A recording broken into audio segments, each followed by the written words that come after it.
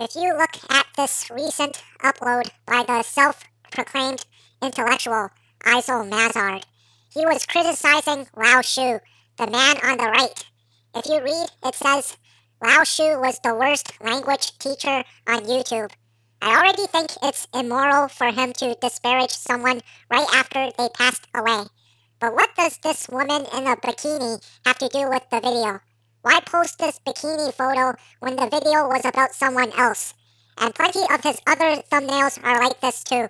He's just obsessed with finding revealing photos of women on Google to use as the thumbnails of his videos. I don't know if it's for clickbait or if he's trying to disrespect those women or both. When he talks about a female YouTuber, he specifically tries to find the most revealing photo of that YouTuber to post it in his thumbnail, even if it's irrelevant to the video he's responding to. He even chooses to post revealing photos of female YouTubers he has live streams with. Again, if the video wasn't about those photos, that is just downright disrespectful. And Eisel loves talking about bikinis too. I'm not trying to be a bikini model. In the name of promoting in the name of promoting veganism as a lifestyle, as something glamorous, as something that had to do with weight loss and bikinis and bicycles and celebrity gossip. Nina and Randa sitting there being idiots, and I sat here and heaped scorn on them and say, look at these wannabe bikini models. I'm not trying to be a bikini model out here. Why are you so obsessed with bikini models and bikinis Eisel. I get that you are a heterosexual male. So am I. But how often do you see me posting revealing photos of women in the thumbnails of my videos on my main channel? Looks like you have no self-control, despite the fact that you identify as an intellectual who does not want his channel to be about beauty or sex appeal.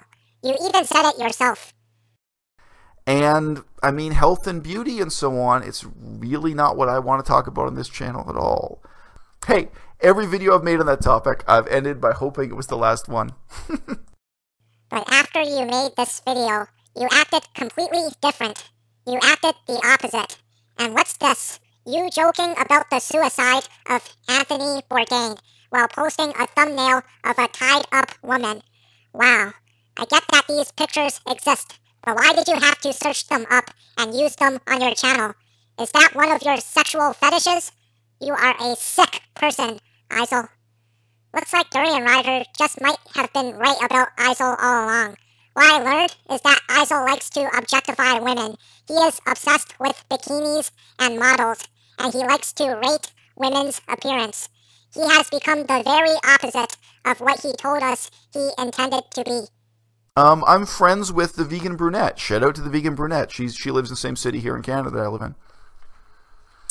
If I made a video saying, "Hey, good work. I'm so glad you lost weight."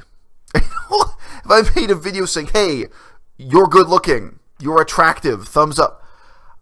I I think it would sound kind of vaguely offensive. And I mean, health and beauty and so on, it's really not what I want to talk about on this channel at all. Hey, every video I've made on that topic, I've ended by hoping it was the last one. there was one very, very good looking young woman I started talking to. And I have high standards. In case you don't follow this channel, I do have high standards. He is a clown.